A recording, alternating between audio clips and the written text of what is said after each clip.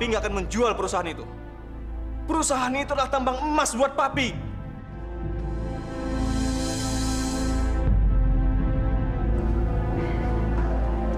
Om, lagi jalan-jalan om? Udah lama om di sini om? Iya. Kebetulan Om beli kopi ya sama baju untuk acara pernikahan kamu dengan Lina.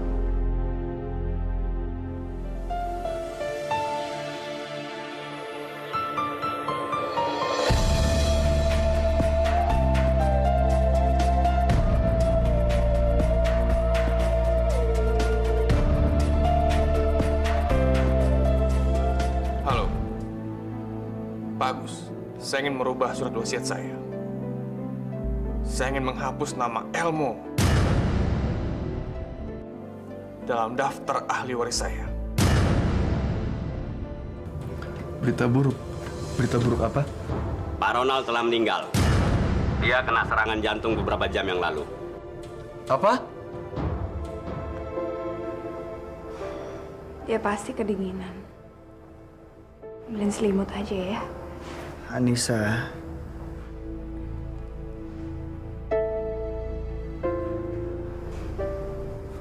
Dia ngigo ya. Anissa jangan pergi dulu, aku pengen bicara sama kamu. Anissa, aku, aku minta maaf sama kamu. Minta maaf. Minta maaf soal apa? Aku nggak bisa ngelindungin kamu. Ngelindungin. Ngelindungin gimana?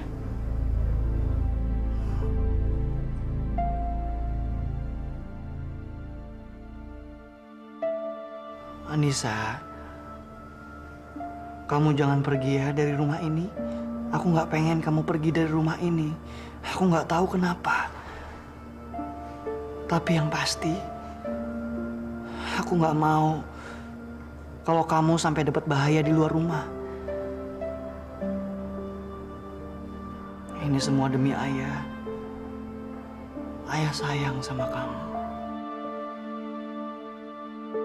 Makanya, jangan sampai dia sedih gara-gara kamu pergi dari rumah ini. Janji ya. Ini aneh banget sih dia ngigo kok ngomongnya ngawur kayak gini sih.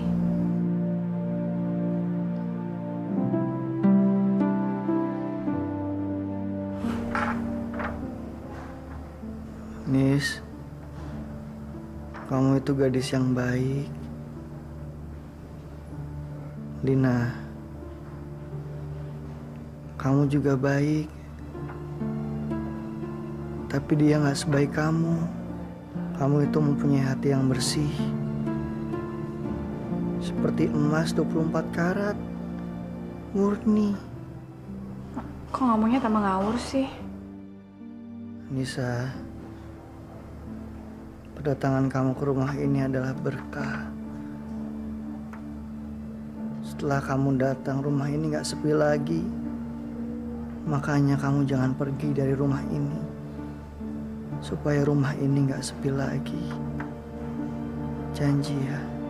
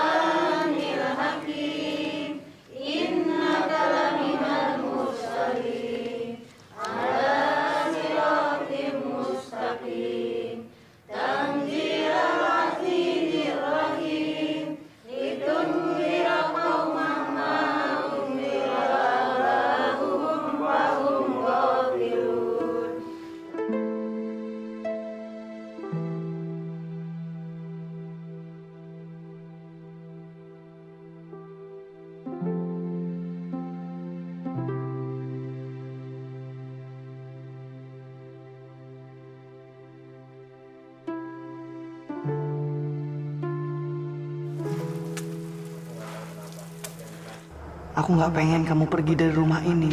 Aku nggak tahu kenapa. Tapi yang pasti, aku nggak mau kalau kamu sampai dapat bahaya di luar rumah. Ini semua demi ayah.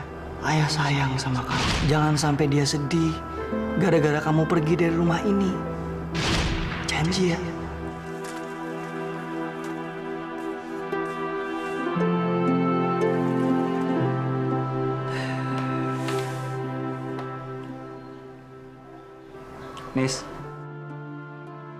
Semalam kamu lihat aku ketiduran di sofa ya? Soalnya begitu aku bangun, aku udah pakai selimut kamu. Gak apa-apa kok. Aku kasihan aja sama kamu tidurnya nggak pakai selimut. Makasih ya, aku jadi malu. Soalnya kalau aku udah kecapean, aku punya kebiasaan buruk. Aku suka ngigo. Nggak apa-apa sih. Jadi bener ya? Tadi malam aku ngigo. Aku ngigo apaan? Nggak kalimat ngaco kayak gitu sih nggak ada artinya.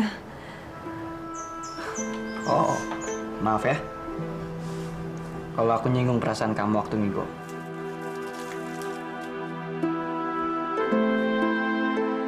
Fatir, aku tuh nggak pengen buat semuanya tuh tambah kacau. Aku nggak pengen nyakitin siapa pun di sini. Nyakitin? Kamu nggak nyakitin siapa-siapa di sini. Terus hutang budi aku sama kamu, ayah kamu dan Dina gimana? Itu udah semakin banyak, Tir. Aku nggak bisa. Udah saatnya aku pergi dari sini. Anissa, tolong. Kamu jangan pergi. Ini semua demi kebaikan kamu. Di luar sana tuh bahaya banget buat kamu. Dan mereka juga nggak akan berhenti ngejar kamu sebelum kamu mati. Tolong dengerin aku ya. Dan kamu jangan salah paham. Nggak ada maksud apa-apa. Ini semua demi ayah. Aku mohon sama kamu. Jangan pergi.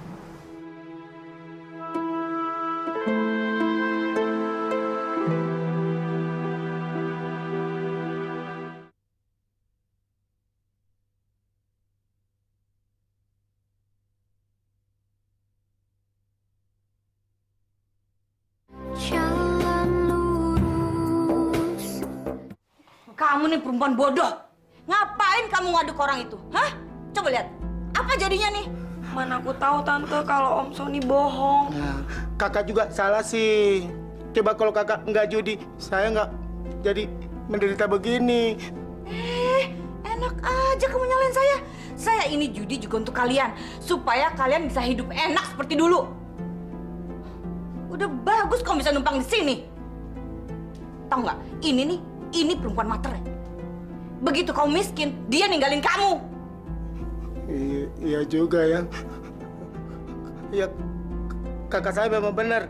Kamu mau balik kan karena kamu kira saya kaya kan? Tapi sayang, kan laki-laki suka perempuan cantik. Perempuan cantik suka laki-laki kaya. Tapi saya nggak kaya. Sekarang kamu harus pergi dari sini. Saya nggak mau jadi budak kamu. Saya mau tinggal sama Kak Sapir aja. Ayo, pergi! Pergi! Cepat!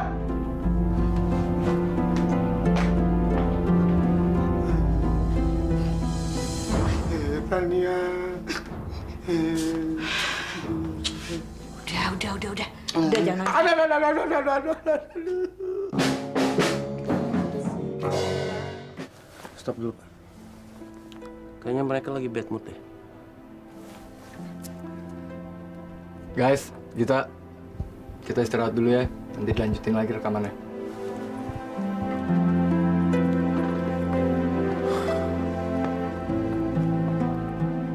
Gue tahu kalian semua memang masih sedih atas kematian Pak Ronald. Tapi tolong jangan biarkan ini mengendorkan Mari semangat Pak, sorry, kalian. sorry, sorry, sorry. Ah. Jadi gini, nanti ruangan ini saya akan rubah jadi restoran terbuka. Jadi nanti para tamu saya, pengunjung saya bisa ngelihat langsung chief-chief saya langsung masak di sini. Apa-apaan ini? Ini studio rekaman kok pakai tukang masak segala? Kalian ngapain? Eh, nggak kebalik tuh. Mestinya gua yang nanya. Kalian tuh lagi pada ngapain di sini? Ya ini studio rekaman, ya jelas kita lagi rekaman. Iya. Tapi mulai bulan depan udah nggak lagi. Karena gua bakal ngejual nih studio dan gua bakal rubah jadi restoran. Elmo, bokap lo tuh naruh harapan besar sama perusahaan ini. Teganya lo mau ngejual perusahaan ini. Asal tahu ya, gue lebih tahu apa harapan besar dari bokap gue. Ya udah kalau gitu Pak, kita bicara di luar aja ya. ya. Gitu.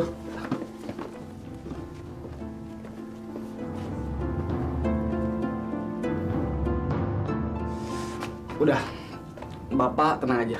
Saya ahli warisnya di sini dan saya lebih berhak atas tempat ini. Terserah nanti mau diapain. Oke kalau gitu, Bapak silakan dulu kan. Oke, kasih.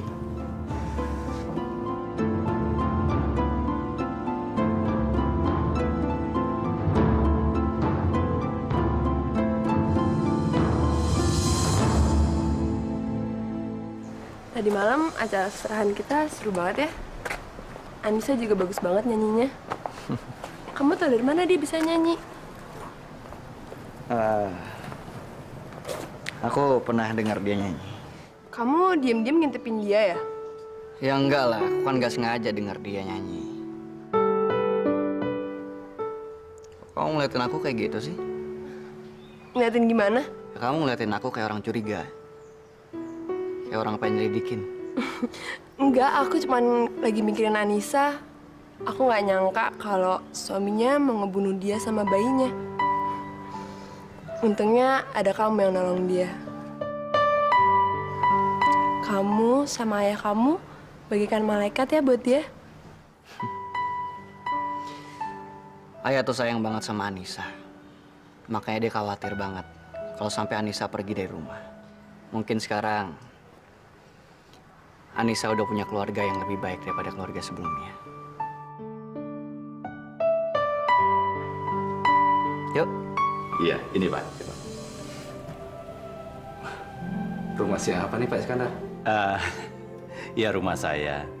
Eh, kebetulan lagi kosong. Karena penyewanya baru saja pindah. Oh, bagus. Kecil, minimalis, tapi hmm, kesannya teduh ya Pak ya? Eh, iya, iya. Lina juga bilangnya begitu. Makanya saya memperlihatkan foto ini sama Bapak. Karena sebentar lagi Fatir sama Lina akan mau menikah. Eh, maksud Pak Iskandar, setelah Lina dan Fatir menikah, mereka akan tinggal di rumah ini gitu. Eh, eh, bukan, bukan. Untuk siapa? Ya buat Anda lah. sabar, sabar Pak. Saya cuma bercanda. Rumah ini buat Anissa. Mumpung masih kosong, biar dia tinggal di rumah itu. Anissa, eh, tapi kenapa mesti Anissa yang tinggal di rumah ini? Pak, coba kita pikir, Pak. Sebentar lagi anak-anak kita mau menikah. Anissa tinggal di rumah Bapak. Bapak dan Fatir hubungannya sangat dekat dengan Anissa. Lalu bagaimana perasaan Lina? Apalagi Fatir juga sangat susah dipisahkan dari Anissa. Kalau masalah itu, Pak Iskandar jangan khawatir. Anissa itu bukan perempuan penggoda kok. Dia itu perempuan baik-baik. Bagaimana bisa dikatakan dia perempuan baik-baik, Pak? Nah, terus kenapa suaminya mencurigai dia kalau selingkuh? Pak, kita tidak kenal dengan Anissa. Dia perempuan asing. Jangan nanti jadi masalah buat kita, Pak. Lebih baik masalah ini dibicarakan dulu dengan Fatir. Saya yakin Anissa mau pindah ke rumah ini. Pokoknya studio jangan sampai dijual. Gimana caranya, Liv? Elmo kan pewaris satu-satunya. Iya sih. Ya makanya kita mesti cari akal. Kita cari waktu yang tepat untuk ngobrol sama dia. Bicara apa ntar? Dia kan tukang ngeyel, Liv. Ya kita bilang sama dia. Semua impian bokapnya untuk studio itu. Tentang kita dan anak band. Masa dia nggak tersentuh? Gua agak sanksi, Liv. Lu lihat aja waktu di pemakaman bokapnya. Nggak ada reaksi apa-apa, mukanya biasa aja. Tapi gue tetap bakal ngeyakinin dia. Kalau ngelepas studio itu adalah kesalahan besar. Ya, selamat berjuang aja deh. Yang pasti, lu nggak boleh nyerah. Nggak bakal gue nyerah, Suf.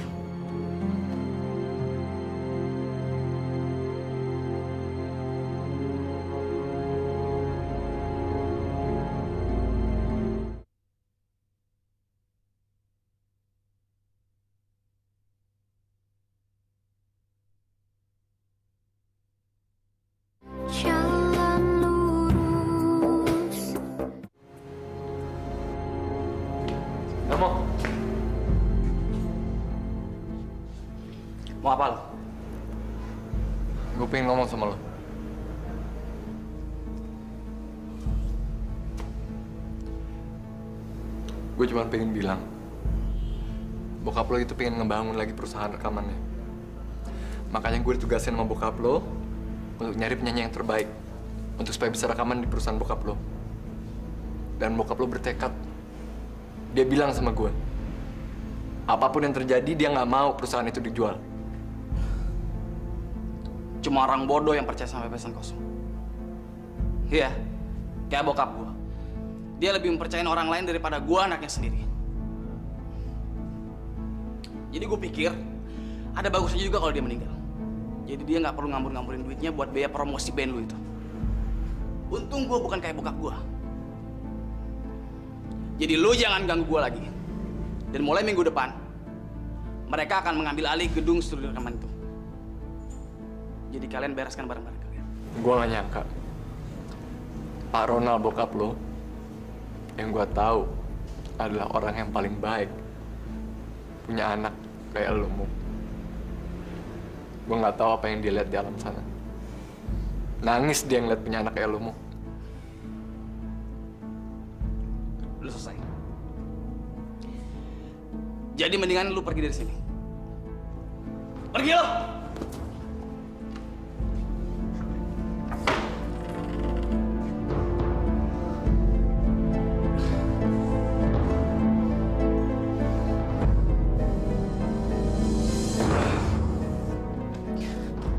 Dia itu siapa sih?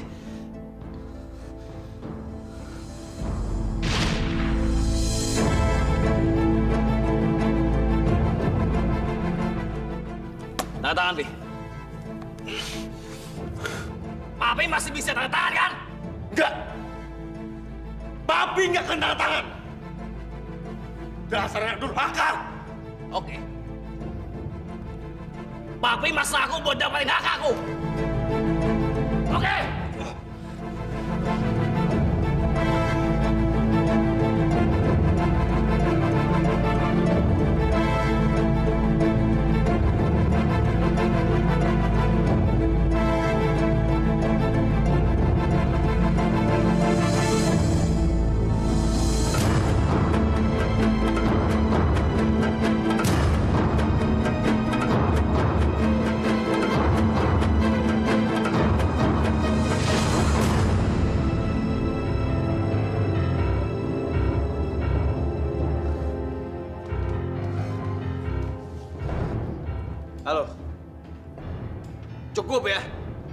Neror gua lagi.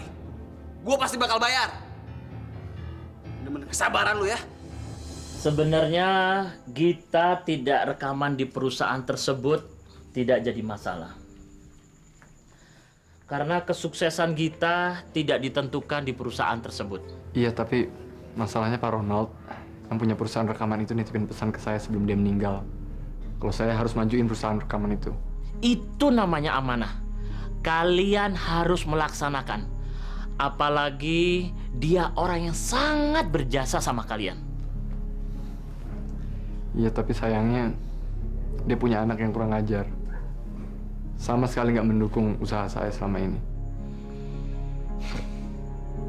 Di sisi lain, kalian tidak punya hak atas warisannya. Warisan tersebut milik anaknya. Jadi saya mesti gimana dok? Kalian hanya bisa merubah pola pikir orang tersebut. Kalau dia menjual perusahaan karena uang, ya kalian tunjukkan dong kalau perusahaan tersebut menghasilkan money alias uang.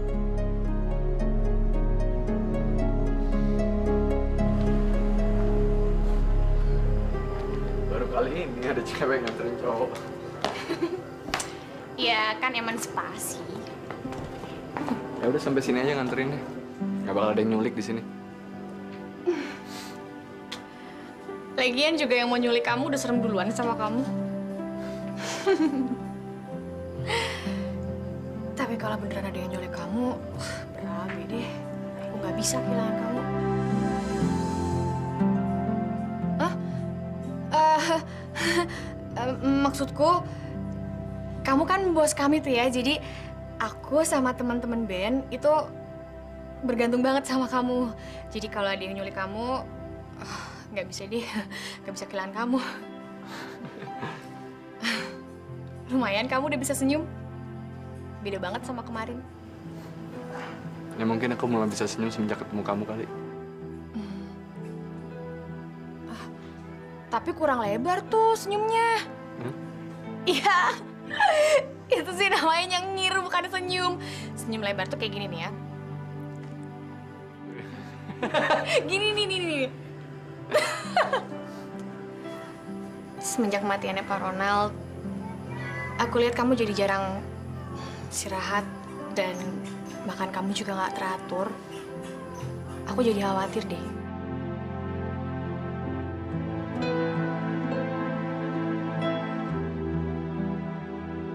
Papa aku meninggal dari waktu aku masih kecil gitu. Jadi waktu aku ketemu sama Pak Ronald, aku kayak nemuin figur baru Papa. Nah sekarang ada kejadian kayak gini, ya jujur, aku kayak ngerasa kehilangan figur Papa lagi. Ya, kalau mau dibilang sedih, aku sedih sekarang.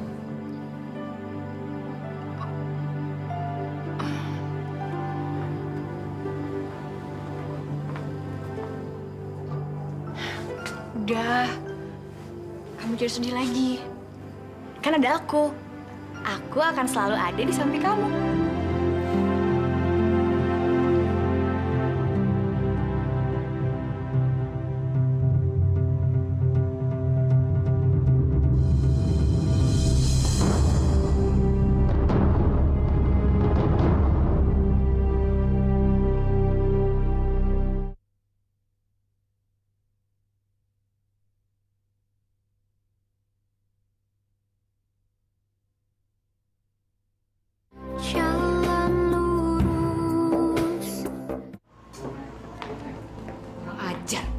Cewek kecil brengsek itu berhasil merebut hati Alif. Benar sekali itu, Kak. Ini nggak boleh dibiarkan. Saya tidak mau sampai dia jadi istri Alif. Kita sekarang ini sudah cukup susah. Kalau nambah anggota keluarga lagi, berarti ada satu mulut lagi yang harus dikasih makan. Si cewek brengsek itu sama persis seperti Anissa. Cuma kalau yang ini, Anissa Junior, tukang fitnah. Buktinya, dia nuduh Hafiz sembarangan. Benar, Mak. Benar, Om. Ma, masa Hafiz dituduh mau perkosa anak gila itu? Oh ya, mas, satu lagi, Ma. Belum lagi, dokter yang gila itu tuh bapaknya tuh bisa-bisa kita sekeluarga dijadiin kelinci percobaan. Pokoknya, kita harus cari cara supaya cewek itu tidak bisa masuk ke dalam keluarga kita. Sebelum hubungan mereka bertambah dekat. Ah, senangnya. Lir, lihat deh. Bagus ya bunganya. Anissa, Anissa. Bunga masih kuncup aja, udah bikin kamu girang banget. Kenapa kok diem? Jadi kamu nggak suka bunga ya? Tapi aku tahu kamu sukanya sama apa. Air kan?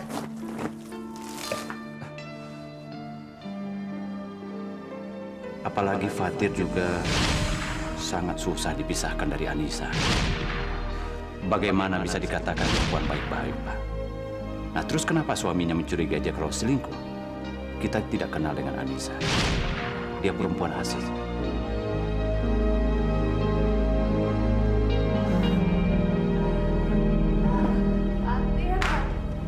Ternyata kamu masih kayak anak kecil juga ya. Astagfirullahaladzim. Kalau Lina lihat, ntar dia mikir yang enggak-enggak lagi. Eh, ponakan, nih lihat nih. Kalau makan obat nih, lihat nih kayak gini nih. Hah, hmm, makan, eh, diajak ngomong cicing atuh. Hmm, gimana mau sembuh? Gimana mau jadi asisten? Cicing terus. Hmm. eh, garuk-garuk. Dasar monyet. Aduh, aduh.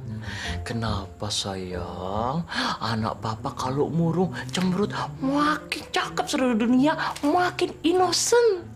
Papa beneran nih. Alif. Semenjak kematiannya Pak Ronald, dia lebih kelihatan sering murung terus. Kesian dia, Pak. Sendirian mikirin perusahaan rekaman itu. Gita rasanya pengen membantu dia deh, Pak. Kamu mau menolong apa sayang? Yang sudah-sudah nih bukannya ketolong. Masalah rumit tuh makin berantakan. Hah? Kayak benang kusut. Ih, Papa kok ngomongnya kayak gitu sih? Anaknya Papa nih lagi pengen berbuat baik, bukannya didukung, malah dibikin down. Iya, iya, maaf. Maaf ya sayang. Memangnya kamu mau menolong apa? Jangan-jangan kamu ada hati. Ih, Papa tuh ya imajinasinya tuh suka aneh-aneh deh. Pa, kita sama sekali nggak punya perasaan apa-apa sama dia.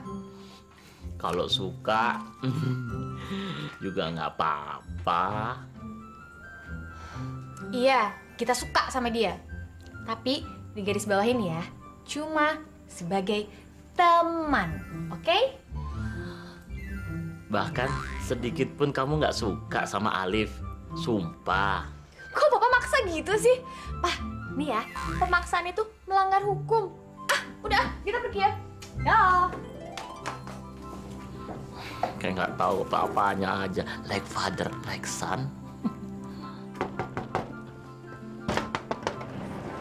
Oh. Iya, iya.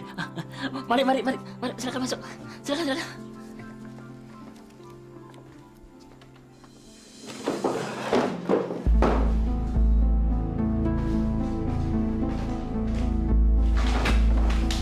Kamu, lo mau jual perusahaan ini untuk uang kan?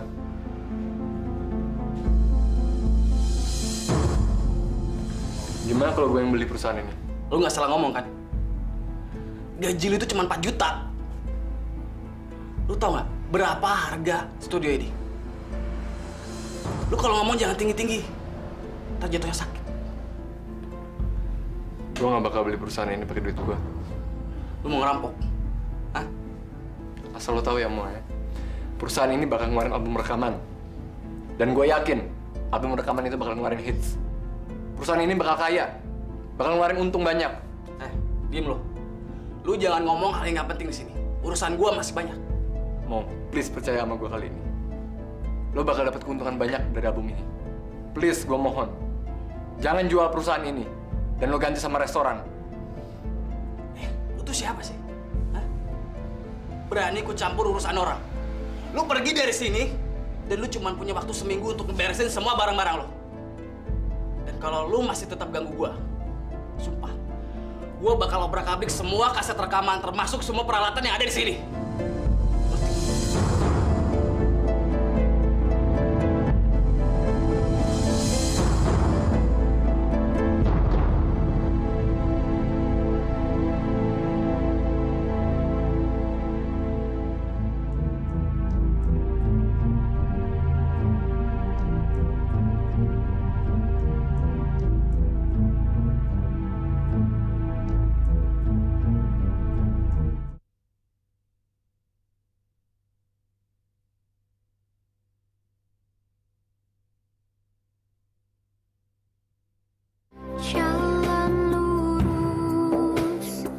Jadi anak Anda yang ganjan itu tidak mau ngaku kalau dia suka sama Alif.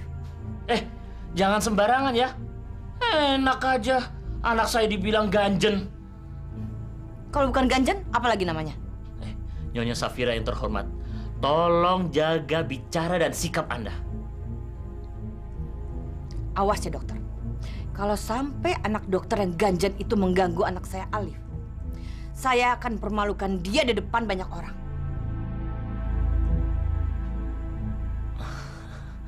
Tenang, tenang, tenang.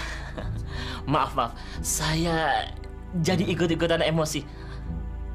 Sebentar ya, saya ambilkan makanan dan minum ya.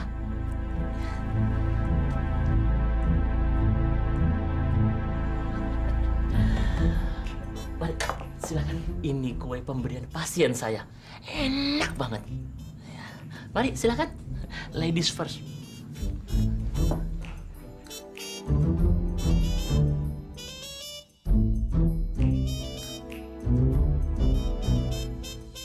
Kak, Kak, Kak Sapira, kelihatannya tuh dokter ketakutan banget sih.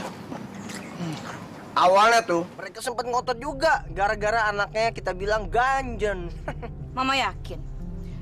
Begitu tadi kita pulang, pasti anak gadis yang brengsek itu dimarahin habis-habisan sama dia. Pokoknya Mama nggak mau. Alif sampai bekerja sama sama perempuan brengsek itu. Maksud Kak Sapira eh, rekaman lagu itu ya? Tapi bayangin mah, kalau mereka recording rekaman hasil dari penjualan kaset, CD, eh, royalti, beuh, duitnya banyak banget mah. Kan kita juga ikut untung, uangnya segunung hari gini rezeki ditolak. Bener juga kamu, Fis. Kamu memang anak mama yang paling pintar. Kalau memang Gita bisa menghasilkan uang bagi mama, mama akan memperalatnya. Aduh, Kak Sapira, ada apa? Ada apa kak? Mama kenapa mah? aduh, nggak tahu nih. Perut mama. Hmm. Aduh. Hah? Kak Sapira kenapa? Aduh, hush, hush. aduh, aduh, aduh, aduh, aduh, aduh, aduh, aduh, aduh, aduh, aduh, aduh, aduh, aduh, aduh, ada di, aduh, aduh, aduh, Gimana sih urusannya?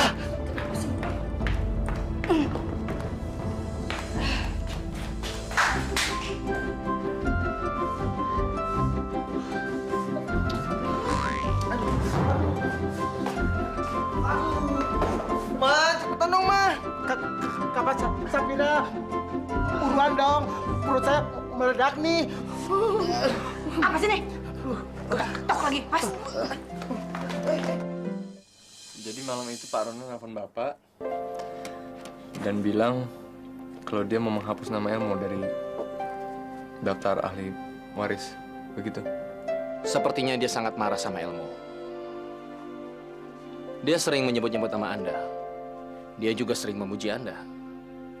Bahkan dia lebih percaya sama Anda daripada anaknya sendiri. Pak Ronald berlebihan. Saya belum berbuat apa pun buat beliau. Pak Ronald memang tidak pernah salah menilai orang. Tapi memang benar, Elmo itu sering menghambur-hamburkan uang keluarganya. Bahkan Pak Ronald sering melarangnya, tapi tidak pernah bisa. Kasihan sekali Pak Ronald ya. Dia nggak sempat melihat kalau perusahaan ini bisa bangkit lagi. Makanya, dia meminta Anda untuk menangani perusahaan itu dari tangan Elmo. Dua hari sebelum Pak Ronald meninggal, dia bertemu dengan saya. Kamu tahu apa yang dia katakan?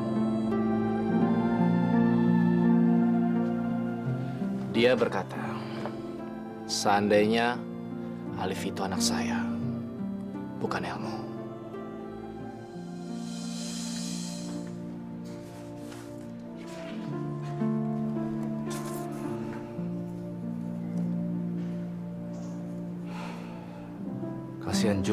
Sampai Anissa keluar dari rumah ini.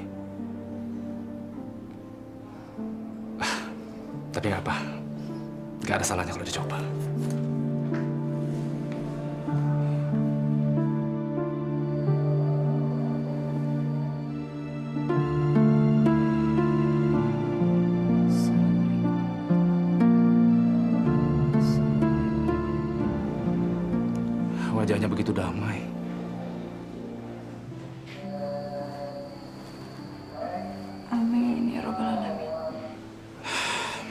Aku nggak sampai hati untuk mengatakannya.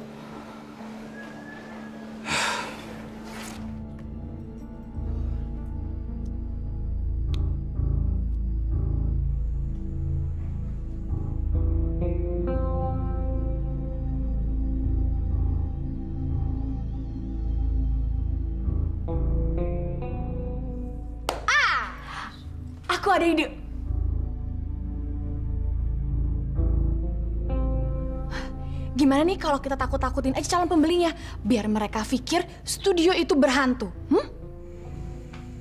Git, jangan bercanda, Git. Serius, Mas. Serius banget. Nih, orang-orang di sini kan masih percaya banget sih sama yang namanya tahayul. Jadi siapa tahu aja si calon pembeli itu juga percaya banget sama yang namanya hantu.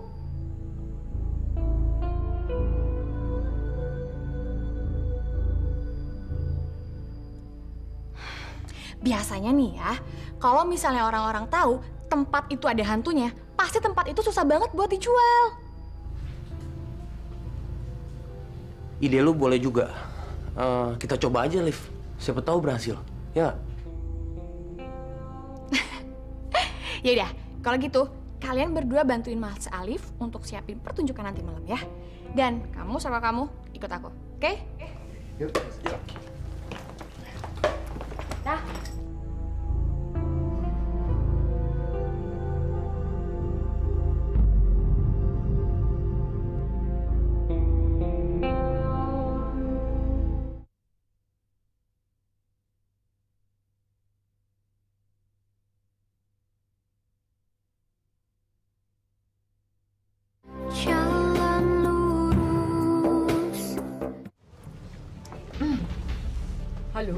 Siapa nih?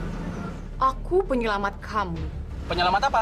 Aku tahu kamu akan membeli studio Ilang Records untuk dijadikan restoran kan?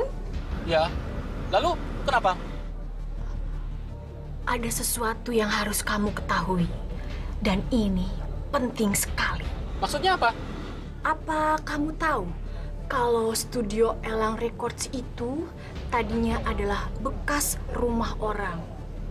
Semua penghuninya itu mati di sana karena dibantai sama perampok. Dan sekarang semua penghuninya itu bergentayangan menjadi hantu di studio itu. Jangan ngomong sembarangan kamu. Oh no, aku bicara yang sebenarnya ini. Hmm, dulu bapak pemilik studio ini, Elang Records, adalah bapak Ronald. Itu akhirnya meninggal dunia. Karena apa? Karena hantu-hantu di sana tidak suka ada manusia menginjakan kaki di tempat itu. Makanya Elmo menjual tempat itu. Tapi Pak Elmo tidak pernah cerita apa-apa. Ya iyalah, gimana sih? Kan Elmo pengen ngejual tempat itu gitu loh. Eh, maaf, maaf. Sorry, maklum. Biasa, saya suka kerasukan penghuni dari studio itu. Jadi gini ya, kau batalkan saja niat kamu untuk membeli studio Elang Records sebelum kamu merugi. Apa? Kalau kamu tidak percaya, kamu buktikan saja sendiri. Kamu datang ke studio Elang Records malam ini. Tapi ingat, jangan sampai kena serangan jantung seperti Ronald. Mengerti?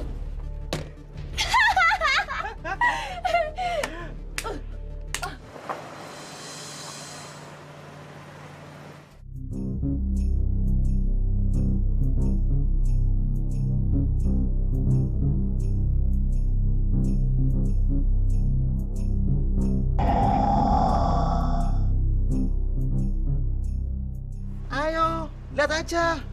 Nggak ada nonton tuan. Ayo. Tuh, pintunya kebuka. Eh. Ya ampun. Jangan Udah, ayo. besok aja. Udah. Ayo. Udah, Nggak ada besok. hantu ayo. Nggak apa-apa. Eh, ayo. Nggak apa-apa masuk aja. Ayo. Ayo, nggak apa-apa. Ayo, nggak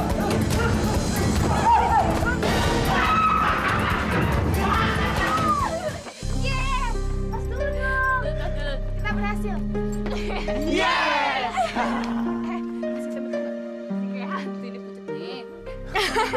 Eh, apa aku bilang? Mereka itu pengecut, takut sama hantu. Mudah-mudahan setelah kejadian ini mereka nggak jadi membeli tempat ini. Ya, mudah-mudahan impian Pak Ronald bisa terwujud.